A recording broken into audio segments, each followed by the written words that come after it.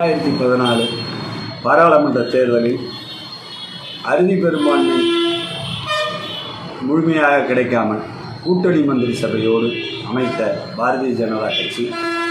தனது வெறுப்பு அரசியலை மீண்டும் ஆழமாக எடுத்து சென்று ரெண்டாயிரத்தி பத்தொம்போது தேர்தலில் அறுதி பெரும்பான்மையை பெற்று மிருகபலத்தோடு ஆட்சிக்கு வந்த பின் தனக்கான எல்லா விதமான செயல்களிலும் முரணான வேலைகளை தொடர்ந்து இஸ்லாமியரை தாக்குவதே தனது வேலையாக வைத்தது இதன் விளைவாக கடந்த ஆண்டு சிஏஏ என்ஆர்சி போன்ற இஸ்லாமியர்களுக்கு மட்டுமல்ல அனைத்து தேசிய இனங்களுக்கும் தலித்துகளுக்கும் கொண்டு வந்த சட்டத்துக்கு எதிராக யாரெல்லாம் போராடுகிறார்களோ அவர்களுக்கு எதிராக அமலாக்கத்துறையையும் சிபிஐயையும்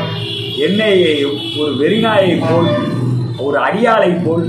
மைய அரசு தொடர்ந்து செயல்பட்டு கொண்டிருக்கிறது. இந்த காவி கார்ப்பரேட் பாசிச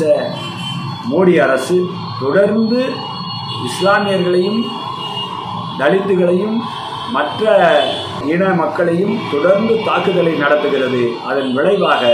இன்று எல்லா மக்களையும் அந்நியப்படுத்தி கொண்டே இருக்கிறது. எனவே இந்த போக்கை கடுமையாக கண்டிப்பதோடு